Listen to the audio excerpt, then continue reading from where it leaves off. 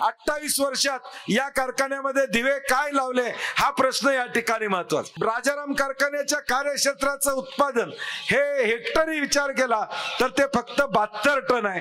हे पुढच्या काळामध्ये नव्वद टनावर कसं घेऊन जाता येईल हा माझा प्रयत्न असणार. हा कारखाना सभासदांच्या दृष्टिकोनातून वाचला पाहिजे ही माझ्यासारख्या कार्यकर्त्याची भूमिका या ठिकाणी. या बावडा गावाला नेहमीच माडिक कंपनीनं डिवचायचं काम या जिल्ह्यामध्ये सातत्याने या ठिकाणी केले केदार बेकरी. आमच्याकडे आम्ही स्वतः बनवलेले khari butter toast biscuit namkeens sweets वेगवेगळ्या प्रकारचे केक्स समोसा ढोकळा कचोरी आणि इतर सत्तर प्रकारचे पदार्थ तसेच उत्कृष्ट क्वालिटीचे सर्व फ्लेवर्समध्ये व्हॅलेंटिना आईस्क्रीम्स मिळतील. तसेच शिदोरी आणि कार्यक्रमांसाठी लागणारे कळीचे लाडू गोड बुंदी बालुशाही खाजा जिलेबी गुलाब जामुन आणि नमकीन पदार्थांच्या ऑर्डर सुद्धा स्वीकारल्या जातील. पत्ता केदार बेकरी तळाशी फाटा कोल्हापूर गारगोटी रोड. संपर्क शहाऐंशी झिरो दोन शहाऐंशी पंच्याण्णव पंच्याण्णव लढाई एवढ्यासाठीच आहे की पंधरा वीस हजार शेतकरी जे ऊस घालतात या कारखान्यावर त्यांचं आयुष्य याच्यावर अवलंबून या ठिकाणी. जुना इतिहास सगळ्यांनी या ठिकाणी सांगितलेला आहे.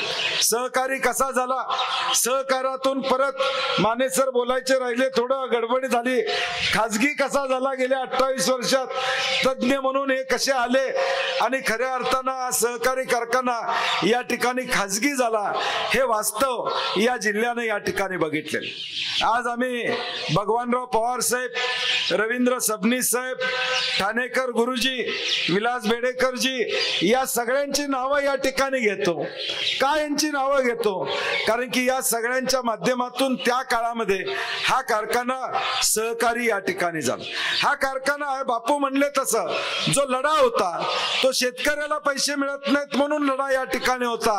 आणि तो लढा त्यावेळी यशस्वी झाला आणि हा कारखाना सहकारी त्या काळामध्ये या ठिकाणी झाला. सूत्र भगवानराव पवार साहेबांच्याकडे आली. एक माणूस यामध्ये घुसला आणि हा सगळा कारखाना ताब्यात घेतला. हे जिल्ह्यानं या ठिकाणी बघितलं. उद्देश काय होता? लढा त्यावेळेचा काय होता? कारखान्याला दर कमी मिळत होता शेतकऱ्याला दर कमी मिळत होता. हा लढा त्यावेळी होता. आज देखील मी एक आत्ता कागद बापूंना दाखवला की प्रोसिडिंग आहे ते त्यावेळेच. आणि त्या प्रोसिडिंगवर दररोज दिवसभर माने सर काय काय घडायचं ते आंदोलन करते कसबा वाड्यात लिहायचे. हरीश बापूंचं नाव आहे त्याच्यावर. हरीश चौगले असं असं म्हणाले. हे सगळं प्रोसिडिंग त्या दिवसभराचं दोन महिन्याचं त्या ठिकाणी व्हायचं. म्हणजे कोण येऊन गेलं? आंदोलनाला कुठे पाठिंबा दिला? काय कोण बोललंय दिवसभरात कोण ना कोणतरी त्याची नोंद त्या साठ दिवसाच्या आंदोलनाची या ठिकाणी केली जायची एवढं प्रचंड आंदोलन कसबा बोर्डेच्या भूमीमध्ये त्यावेळी प्रिन्स शिवाजीच्या शाळेजवळ हे आंदोलन या ठिकाणी झालं. त्यावेळी शिये नाका म्हणून त्याला ओळख होती भावडा पुढं त्या ठिकाणी डेव्हलप झाला नव्हता. आणि त्या ठिकाणी या आंदोलनाची बीज रोवली गेली. आणि खऱ्या अर्थानं हा कारखाना खाजगीतून सहकारी झाला. परंतु आमचं नशीब दुर्दैवी की गेल्या पंचवीस वर्षामध्ये तो सहकारी आहे असं सभासदाला या ठिकाणी वाटलंच नाही. हे वास्तव तुमच्या आमच्यासमोर निश्चितपणे या ठिकाणी राहिले. आणि म्हणून आजची लढाई मी म्हणलं ती ही लढाई कशासाठी लढतोय?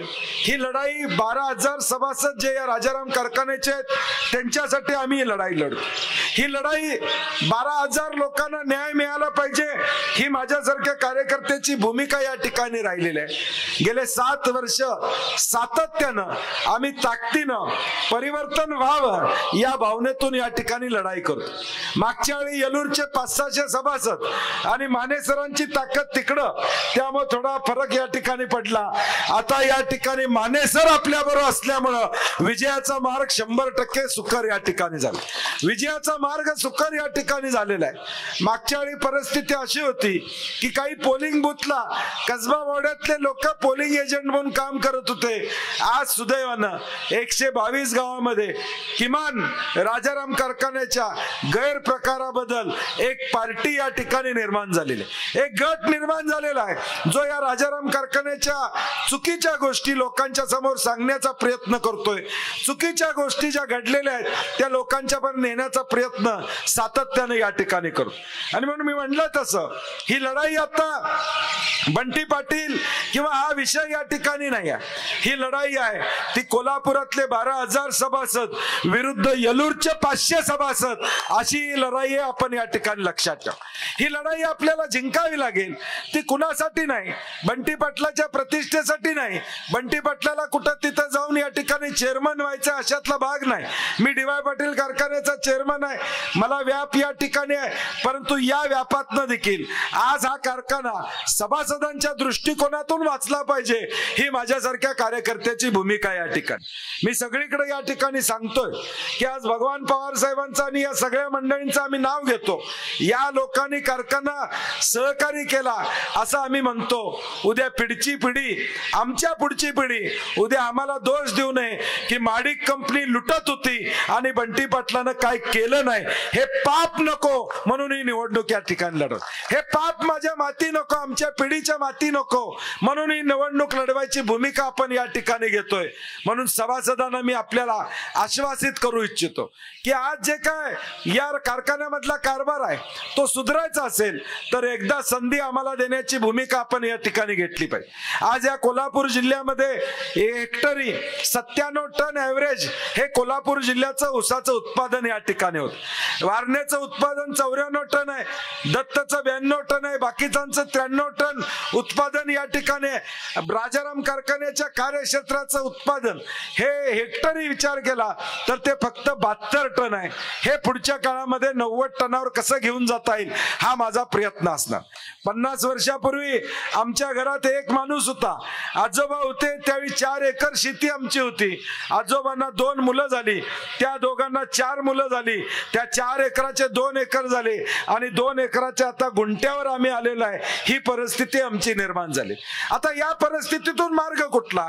तर या असलेल्या जमिनीच्या तुकड्यातून आम्हाला जास्त उत्पादन काढलं आणि उत्पादन काढलेल्या मालाला योग्य आणि चांगला भाव मिळणं याच्याशिवाय आमचं भविष्य काळातला संसार या ठिकाणी चाल आज माझी पोटतिडीक एवढीच आहे की या शेतकरी जो कष्ट करतोय त्या शेतकऱ्याला चार पैसे मिळाले पाहिजे. आज आम्हाला ही सत्ता कशासाठी या ठिकाणी हवी आहे? तर या सत्तेच्या माध्यमातून ऊस उत्पादकाला चार पैसे कसे देता येईल? इतर कारखान्याच्या बरोबरीने या ठिकाणी कसं कर, काम करता येईल? ही भूमिका आमची सातत्याने या ठिकाणी राहिलेली आणि म्हणून ही लढाई महत्वाची आहे. ही लढाई सभासद म्हणून तुमच्यासाठी तुमच्या संसारासाठी या ठिकाणी महत्वाची असणार आहे. आणि म्हणून माझी विनंती आहे दुसरा कुठलाही विचार करू नका. सर्जराव माने सरांनी आता सगळ्या मागच्या कारभाराचा उहापो या ठिकाणी केलेला आहे. आता माने सर कसबा वावडावाल्यासनी त्यांचं काही सांगायची फार आवश्यकता नाही. त्यांचं सगळंच कारभार माहीत आहे. तिथं कारखान्यात टाचणी पडली तरी आम्हाला या ठिकाणी कळत. काय करतात काय नाही करतात याचा वप कसबा वावड्याला नेहमीच आहे. मागच्या वेळी देखील ज्यावेळी आम्ही पॅनल केलं त्यावेळी या बावड्यातून शंभर दीडशे मतं बाजूला या ठिकाणी गेली. ऐंशी टक्के मतदान हे माझ्या बाजूने या ठिकाणी मागच्या वेळी देखील त्या ठिकाणी झालं. हे बावडा गाव जागृत आहे. हे बावडा गाव स्वाभिमानी आहे. या बावडा गावाला नेहमीच माडिक कंपनीनं डिवचायचं काम या जिल्ह्यामध्ये सातत्याने या ठिकाणी केले या बावडा गावानं जे आंदोलन केलं साठ दिवस ज्याचा उल्लेख हरीश बापूंनी केला. परवा माडिक साहेब एका सभेमध्ये म्हणले की कसबा बावड्याचं योगदान काय हा भा- हे भाषणात त्यांनी या ठिकाणी सांगितलं. मला वाटतंय म्हणून मी ते पेपर कटिंग जुने काढलेत. हे सगळं उद्या त्यांना आता व्हॉट्सअपवर त्यांच्या पाठवून देतो. त्यांना कळल की कसबा वाड्याचं योगदान या ठिकाणी काय होत. ही मंडळी छाती टोकपणे आज बोलतायत कसबा वाड्याचं योगदान काय? कसबा वाड्यानं काय केलं? आता येणाऱ्या तेवीस तारखेला हा राजाराम कारखाना सहकारी करत असताना कसबा बावड्याचं योगदान काय होतं? ते बावडेकर निश्चितपणे दाखवतील. हा विश्वास माझ्यासारख्या कार्यकर्त्याला या ठिकाणी. आज ही कंपनी या बावड्यामध्ये आली राजाराम कारखान्यामध्ये आली. अठ्ठावीस वर्षात या कारखान्यामध्ये दिवे काय लावले? हा प्रश्न या ठिकाणी महत्त्वाचा